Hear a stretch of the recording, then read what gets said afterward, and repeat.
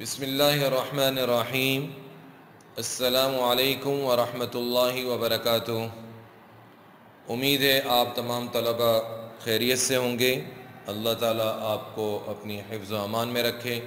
हम एक मरतबा फिर इकरा फाज वाइस सेकेंडरी स्कूल की जानब से जमात नहम दहम की इस्लामियात की ऑनलाइन क्लास में आपको खुश आमदेद कहते हैं। अज़ीज़ तलबा आज का जो सबक है, आज का जो लेक्चर है, उसका मौजू हिफाजत कुरान है। इससे पहले गुज्त लेक्चर में हम कुरान करीम का तारफ़ आपके सामने पेश कर चुके हैं। हिफाजत कुरान के जो मराहल हैं वह आज के लेक्चर में इन तफसील से आपके सामने बयान करेंगे। आदम आसमाम से लेकर ईसा आसमाम तक जितनी भी आसमानी किताबें अल्लाह ताला ने नाजिल फरमाई, जितने भी सहीफ़े नाजिल फरमाए, हम आपको गुजशत लेक्चर में ये बता चुके हैं कि उनमें से कोई भी अपनी असल हालत में महफूज नहीं रहा। उसकी वजह यह भी है कि अल्लाह ताला ने उनमें से किसी के हवाले से भी ये वादा नहीं फरमाया कि इसकी हिफाजत हम करेंगे और ये हमेशा महफूज रहेगी। कुरान करीम को ये एजाज़ हासिल है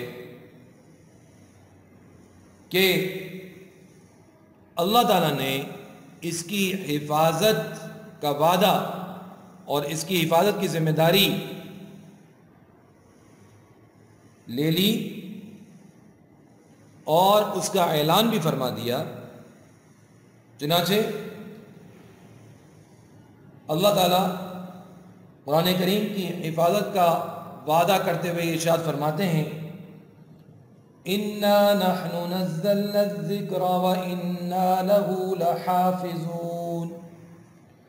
बेशक इस कुरान को हमने नाजिल किया है और हम ही इसकी हिफाजत करने वाले हैं। यही वजह है कि कुरान करीम उसी हालत में मौजूद है, आज भी। जिस हालत में हुजूर अब्दुल सल्लल्लाहु अलैहि वसल्लम पर नाजिल हुआ था, इसमें एक लफ्ज की, एक हर्फ की, यहाँ तक के किसी जबर जेर पेश की भी कोई तब्दीली आज तक नहीं हुई। और ना कोई कर सकेगा। इसलिए कि जिसकी हिफाजत अल्लाह ने अपने ज़िम्मे ली हो, उसमें कोई कैसे तब्दीली कर सकता है? तो एक बात तो अज़ीज़ सलाह ये हो गई। अब दूसरी बात ये कि इस हिफाजत के मराइल हैं, मुख्तलिफ़ मराहल हैं। उनमें सबसे पहला मरहला खुद रसूलुल्लाह सल्लल्लाहु अलैहि वसल्लम की हयात तय्यबा में है। फिर उसके बाद अहद सिद्दीकी में और फिर उसके बाद अहद उस्मानी में। कुरान करीम की हिफाजत किस तरह की गई, हम आपके सामने बयान करेंगे। लेकिन सबसे पहले हम आपको ये बताना चाहते हैं कि ख़ुद रसोल्ला अलैहि वसल्लम की हयात तय्यबा में भी इस कुरान करीम को महफूज किया गया। ये इसलिए बताना ज़रूरी है कि बाज़ गुमराह फ़िरक़े और बातिल मज़ाहब जो मुसलमानों के मुखालिफ हैं, यहूद नसारा और दीगर, वो ये बात फैलाने की कोशिश करते हैं कि ये कुरान करीम हजूर अलैहि वसल्लम की हयात तय्यबा में नहीं लिखा गया। बल्कि आप सल्लल्लाहु अलैहि वसल्लम की विसाल के बाद हज़रत अबू बकर सिद्दीक रज़ी अल्लाह तआला के दौर में सहाबा ने लिखा। हालाँकि ऐसा नहीं है। इस सारी तफसील को जानने के बाद आपको ये मालूम हो जाएगा कि ये बिल्कुल गलत बात है और बिल्कुल गलत एतराज़ है जो मुसलमानों के ख़िलाफ़ किया जाता है। वो तफसील मैं आपके सामने अर्ज़ करता हूँ। सबसे पहले तो रसूलुल्लाह सल्लल्लाहु अलैहि वसल्लम के ज़माने में, आपकी हयात तय्यबा में किस तरह इसकी हिफाजत की गई, उसको हम बयान करेंगे, फिर आगे चलेंगे इन ताला। आप सल्लल्लाहु अलैहि वसल्लम के हयात तय्यबा में दो तरीक़ों से हिफाजत की गई। एक सदरी हिफाजत, जिसको आप ज़बानी हिफाजत भी कह सकते हैं यह बात गुज्तर लेक्चर में हम बता चुके आपको कि हजूर अलैहि पर जो कुरान करीम नाजिल हुआ तेईस तेईस साल के अरसे में नाजिल हुआ। फिर उसके भी दो अदवार हैं, एक मक्की दौर है और दूसरा मदनी दौर है। मक्की दौर आपको मालूम है कि किस कदर सख्त हालात में गुजरा, किस कदर मुश्किल थी। पूरा माशरा, पूरा शहर हजूर अलैहि वसल्लम का मुखालिफ था। सहाबा जो ईमान लाए थे, उनका भी मुखालिफ था और उनको तरह तरह की अजियतें दी जाती थीं। आज़ादाना इबादत नहीं कर सकते थे। आज़ादाना नमाज़ नहीं पढ़ सकते थे। तो इसी तरह कुरान करीम को लिखना भी उस वक्त मुश्किल था। लिहाजा उस वक्त जो ज़्यादा ज़ोर दिया गया कुरान करीम की हिफाजत के लिए, वो ज़बानी या सदरी यानी सीनों से हिफाजत की गई।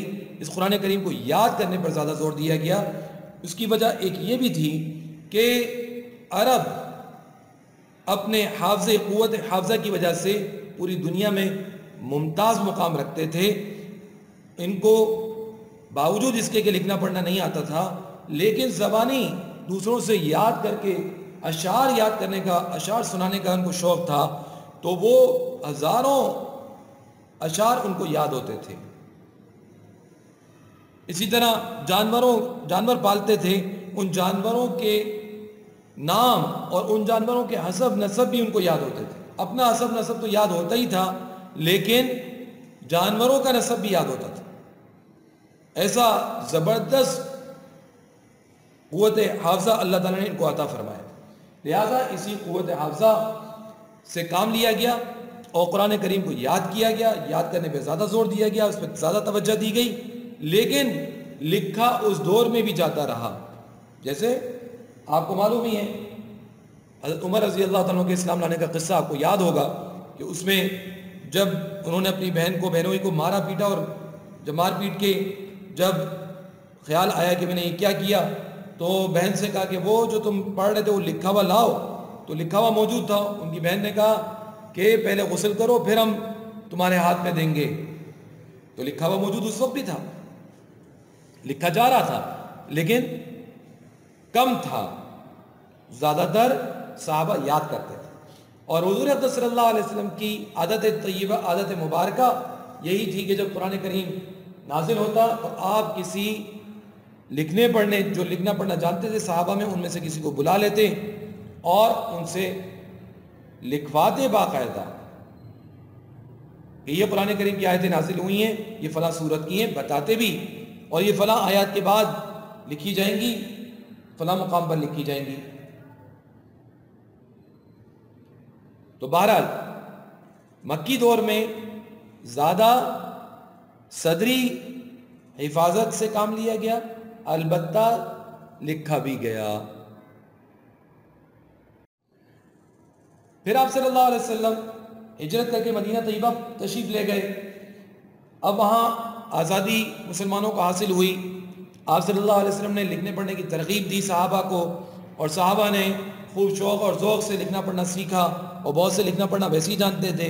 तो अब आप वसल्लम के पास अमूमी तौर पर साहबा की एक जमात मौजूद ही रहती थी कि जब आप अलैहि वसल्लम पर वही नाजिल होती तो जब वही नाजिल हो जाती तो आप अलैहि वसल्लम उनको बाकायदा सुनाते और वो लिखते जाते। आप सल्लल्लाहु अलैहि वसल्लम को बताते ये कुरान करीम की किस सूरत का हिस्सा है और ये इसको कहाँ लिखा जाएगा? तो चुनाचे, साहबा की एक बड़ी जमात के पास रसूलुल्लाह सल्लल्लाहु अलैहि वसल्लम का लिखा लिखा हुआ कुरान, यानी आप सल्लल्लाहु अलैहि वसल्लम ने जो उनको लिखवाया, वो महफूज हो गया आप सल्लल्लाहु अलैहि वसल्लम की हयात तय्यबा में ही। और हुफाज की तादाद तो बहुत ज़्यादा बहुत ज़्यादा थी, लेकिन लिखने वालों की इनफरादी तौर पर कुरान करीम जिन हजरात ने लिखा, पूरा का पूरा कुरान भी लिखा हुआ मौजूद था। ये कहना कि आप सल्लल्लाहु अलैहि वसल्लम के दौर में कुरान लिखा ही नहीं किया ये बिल्कुल झूठ है और बेअसल बात है और बिल्कुल गलत है और बातिल बात है। हुजूर सल्लल्लाहु अलैहि वसल्लम बाकायदा लिखवाते थे। अज़ीज़ सलाबा, यहाँ तक तो बात आपकी समझ में आ गई होगी, यानी आप सल्लल्लाहु अलैहि वसल्लम के अहद रिसालत में किस तरह से कुरान करीम की हिफाजत की गई, ज़बानी और किताबी। फिर उसके बाद आप सल्लल्लाहु अलैहि वसल्लम का विसाल हो गया, आप दुनिया से पर्दा फरमा गए। अबू बकर सदीक़ रज़ी अल्लाह का दौर खिलाफत शुरू हुआ।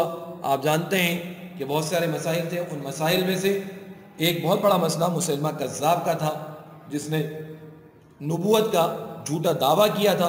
उसके ख़िलाफ़ साहबा ने जिहाद किया और जंग यमामा हुई और इस जंग यमामा में तकरीबन 1200 साहबा शहीद हुए, जिनमें से 700 हफाज थे।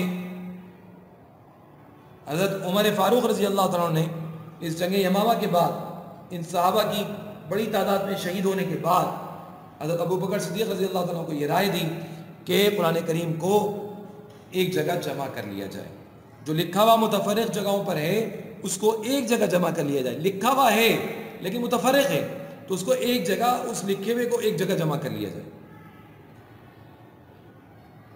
मुख्तसरन ये कि हज़रत अबू बकर सदीक़ रज़ी अल्लाह तु और हज़रत उमर फ़ारूक रज़ी अल्लाह तु ने हज़रत जैद बिन साबित रज़ी अल्लाह तु के ज़िम्मे ये काम लगाया कि वो कुरान करीम को जमा करें और उसके लिए जो तरीक़ा अख्तियार किया किया गया और जो एहतियात और जो अहतमाम इन हजरात ने इख्तियार किया, दुनिया में किसी किताब को जमा करने की, लिखने की मिसाल इस जैसी नहीं मिलती। दुनिया का कोई मज़हब, चाहे वो आसमानी मजाहिब के दावेदार हों, चाहे इसके अलावा हों, कोई इस तरह से मिसाल नहीं दे सकता जिस तरह से साहबा ने कुरान करीम को जमा किया। वो तरीक़ाकार क्या था?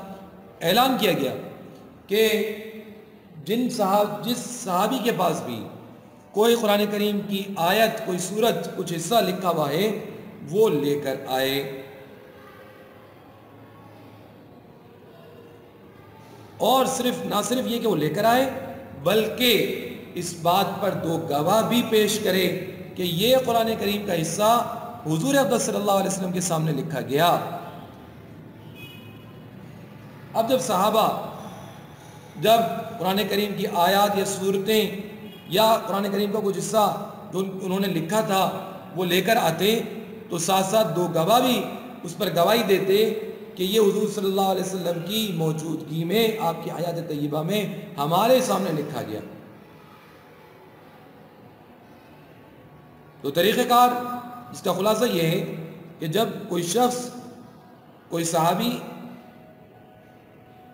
जैद बिन साबित रज़ी अल्लाह के पास कुरान करीम का कुछ हिस्सा लिखा हुआ लेकर आता तो उनके साथ हज़रत उमर फ़ारूक रज़ी अल्लाह भी थे और उनके साथ साहबा की एक जमात भी थी जो उनकी माविनत कर रही थी। ये क्या करते? सबसे पहले तो अपनी याददाश्त से इसकी तोसीक करते फिर हज़रत उमर फ़ारूक रज़ी अल्लाह तु ये सामने भी उसको पेश करते गोया कि ये दोनों हजरात मुश्तर तौर पर उसको वसूल करते और अपनी अपनी याददाश्त से उसकी तोसीक करते फिर उसके बाद ये भी मैंने अर्ज़ कर दिया कि कोई आयत या कोई सूरत उस वक्त तक कबूल नहीं की जाती जब तक कि उस पर दो हजरात गवाही ना दे दें कि ये हजूर सल्लल्लाहु अलैहि वसल्लम की मौजूदगी में लिखी फिर गवाही देने के बाद भी ये आयात या ये सूरतें उन साहबा की उस जमात पर के सामने पेश की जाती, जो हफाज भी थे और उनके पास अपने अपने इनफरादी तौर पर कुरान करीम लिखे हुए मौजूद थे, मजमू मौजूद थे, उनसे इसका मवाजना किया जाता। और जब इतमान हो जाता कि हाँ ये बिल्कुल वैसे ही है, जैसे कि इन हजरात के पास हैं तो फिर उसको कुरान करीम का हिस्सा बनाया जाता। यहाँ तक कि कुरान करीम एक जगह पर, यानी लिखी हुई सूरत में महफूज हो गया। अगरचे, ये एक जिल में मौजूद नहीं था, अलग अलग था, लेकिन सुर फातिहा से लेकर सुर नास तक ये जमा कर लिया गया। फिर हज़रत उमर फ़ारूक रज़ी अल्लाह का दौर खिलाफत शुरू हुआ और आपके दौर में मज़ीद कोई काम कुरान करीम की तदवीन पर नहीं हो सका। उसकी वजह बुनियादी ये थी कि हज़रत उमर फ़ारूक रज़ी अल्लाह के दौर ख़िलाफ़त में फतूहत जारी रहीं और इस्लाम फैलता गया पूरी दुनिया में। तो हज़रत उमर फ़ारूक रज़ी अल्लाह की तवज्जो उस तरफ़ रही। नए नए शहर आबाद किए गए। मुसलमानों की तादाद और मुसलमानों की क़वत और ताकत बढ़ती गई। यहाँ तक कि उमर फ़ारूक रज़ी अल्लाह का विसाल हुआ और ये कुरान करीम का ये ये जो मजमु था ये हज़रत हफ्सा रज़ी अल्लाह ताला के पास महफूज कर दिया गया। उनके पास ये जो है वो महफूज हो गया उन, उन्होंने अपने पास रख लिया। फिर उस्मान गनी रज़ी अल्लाह दौर खिलाफत शुरू हुआ और उसमें भी फतवाहत जारी रहीं। लेकिन एक मसला ऐसा पैदा हुआ कि जिसकी बिना पर कुरान करीम को फिर एक मुसहफ़ की शक्ल में जमा किया गया। अब वो वजह क्या थी? वो वजह मैं आपके सामने अर्ज़ करता हूँ। वजह ये हुई, अज़ीज़ तलबा, कि कुरान करीम तो सात किरातों में नाजिल हुआ, हजूर वसल्लम पर सात लहजों में नाजिल हुआ और सहाबा ने हजूर अलैहि वसल्लम से इसी तरह कुरान करीम सीखा। इसलिए कि सहाबा अरब थे, उनके लिए इन सात किरातों को, लहजों को सीखना कोई मुश्किल नहीं था, वो उनसे वाकिफ़ थे, इसलिए उन्होंने सीख लिया। लेकिन जब इस्लाम अरब से निकलकर अजब में फैला और गैर अरबी लोग मुसलमान हुए तो उनके लिए कुरान करीम को सात करातों में सीखना मुश्किल वो उन करातों से नावाकिफ़ थे। तो साहबा ने उसके लिए तरीका इख्तियार किया कि जिस जिस इलाके में जो साहबी तशरीफ़ ले गए साहबा तशरीफ़ ले गए तो वहाँ के लोगों के लहजों और वहाँ की लोगों की जो ज़बान थी, उससे जो करीब तरीन या आसान तरीन जो करात थी कुरान करीम की, जो लहजा था, वो उनको सिखा दिए। अब ये साहबा चूँकि पूरी दुनिया में मुख्तलिफ़ इलाक़ों में तशरीफ़ ले गए थे तो और मुख्तलिफ़ इलाक़ों के लोगों के मुख्तलिफ़ लहजे थे मुख्तलिफ़ ज़बानें थी तो इसी तरह उन्होंने मुख्तलिफ़ किरातें सीख लीं और वो जो किरात उन्होंने सीखी, वो इस तरह सीखी कि उनको वही किरात आती थी, वो दूसरे किरात से, दूसरी, दूसरे लहजे से नावाकिफ़ थे। फिर ये मुख्तलफ़ किरातों के सीखे हुए लोग जब एक लश्कर में, इस्लामी लश्कर में जमा हुए और उन्होंने कुरान करीम पढ़ा, तिलावत की उसकी तो दूसरे लोगों ने जो इस किरात से नावाकिफ़ थे, उनको गलत करार दिया। तो यूँ नावाकिफियत की बिना पर एक दूसरे को लोग गलत करार देने लगे और ये इख्तलाफ बढ़ने लगा। यहाँ तक कि ये इख्तलाफ शदीद हो गया। इसी वजह से हज़रत हुसैफ़ा बिन यमान रज़ी अल्लाह तु आज़रबाईजान के जहाज़ से फारग होकर जब वापस आए तो उन्होंने इस खदशे का इजहार किया कि लोगों में कुरान मजिद के क़रातों के मुतालिक इख्तलाफात शुरू हो गए हैं। और वो ये नहीं जानते कि कुरान करीम सात करातों में नाजिल हुआ है। लिहाजा लोग अपनी करात को सही और दूसरों की करात को गलत समझते हैं। और अगर ये इख्तलाफ ख़त्म नहीं किया गया तो मुसलमानों का हाल भी यहूद नसारा की तरह होने का डर है। एक दूसरे के खिलाफ फतवेबाजी शुरू हो जाएगी, एक दूसरे पे कुफर का फतवा लगाएँगे। और एक दूसरे के खिलाफ तलवारें निकल आएँगी। ये इख्तलाफ इतना शदीद हो जाएगा। लिहाजा एक बार फिर उस्मान गनी रज़ी अल्लाह तु ने सहाबा से मशवरा किया और फिर इस गर्ज से उस्मान गनी रज़ी अल्लाह तु ने उम्मिन हज़रत हफ्सा रज़ी अल्लाह तह के पास पैगाम भेजा कि आपके पास जो कुरान करीम महफूज है हज़रत अबू बकर सिद्दीक़ रज़ी अल्लाह तह के दौर में जो जमा किया गया था वह आप हमारे पास भेज दीजिए ताकि हम उसकी मदद से कुरान करीम का नया नुस्खा तैयार कर सकें। चुनाचे हज़रत हफ्सा रज़ी अल्लाह ताला ने वो कुरान पाक जो उनके पास महफूज था वो हज़रत उस्मान गनी रज़ी अल्लाह तआला के पास भेज दिया। इब्तदान, हज़रत उस्मान गनी रज़ी अल्लाह तआला ने चार सहाबा पर मुश्तमिल एक जमात बनाई थी, जिसमें हज़रत बिन साबित थे, हज़रत अब्दुल्ला बिन ज़ुबैर, हज़रत सईद बिन आस, हज़रत अब्दुलरहमान बिन हारिस रज़ी अल्लाह अजमाइन। लेकिन बाद में और दीगर सहाबा भी उनके साथ शामिल कर दिए गए। उनकी मुआवनत के लिए, यहाँ तक कि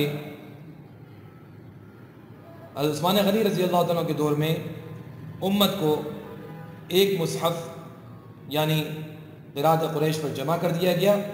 यही नुस्खा जो हज़रत उस्मान रज़ी अल्लाह ने मुरतब करवाया था, आज पूरी दुनिया में मौजूद है। इसी को मुसफ़ उस्मानी भी कहा जाता है, इसी को मुसफ़ इमाम भी कहा जाता है। और इसके मुख्तलिफ़ नुस्खे, सही रिवायत के मुताबिक सात नुस्खे आपने तैयार करवाए। जिनमें से एक मक्का मुकरमा भेजा, एक शाम, एक यमन, एक बहरैन, एक बसरा और एक कोफा भेज दिया गया और एक मदीना तय्यबा में महफूज रखा गया। तो अज़ीज़ तलबा कुरान करीम इस तरह से महफूज किया गया और रसूलुल्लाह सल्लल्लाहु अलैहि वसल्लम के दौर से लेकर आज तक कोई ज़माना ऐसा नहीं गुज़रा जिसमें कुरान करीम के हफाज मौजूद ना हो और ना कोई ऐसा ज़माना गुज़रा कि जिसमें कुरान करीम लिखा हुआ मौजूद ना हो। बल्कि मुसलमानों पर मुख्तलिफ़ जो अदवार आए हैं बुरा अदवार भी आए, बुरा ज़माना भी आया जिसमें मुसलमानों को बहुत सख्तियों से गुजरना पड़ा।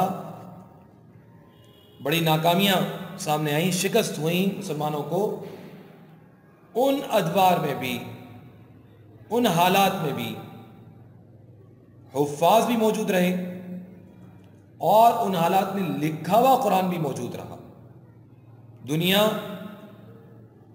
कभी भी ऐसे दौर से नहीं गुजरी, इन साढ़े चौदह सौ साल तकरीबन, साढ़े चौदह सौ साल तकरीबन होने वाले हैं, इस सारे ज़माने में, इस पूरे तवील अरसे में कि दुनिया में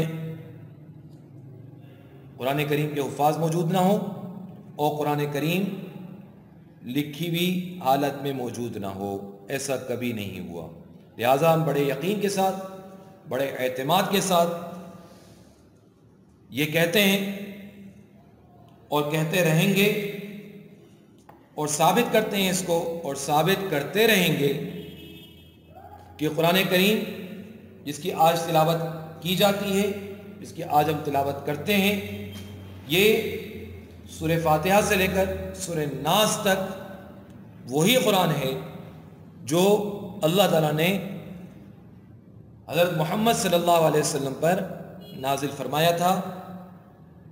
इसका एक एक हर्फ, एक एक ज़बर, ज़ेर, पेश, हर चीज़ वही है जो हजूर सल्लल्लाहु अलैहि वसल्लम पर नाजिल हुई। उसी हालत में आज तक महफूज है और क़यामत तक जब तक अल्लाह ताला को मंजूर है, ये महफूज रहेगा। ना इसमें कोई तब्दीली कर सका है, ना कोई तब्दीली कर सकेगा। इन ताला। उम्मीद है आज का सबक आपको समझ में आया होगा। अगले सबक तक के लिए इजाज़त दीजिए, अपना ख्याल रखिएगा। असलकम वरहमल वर्का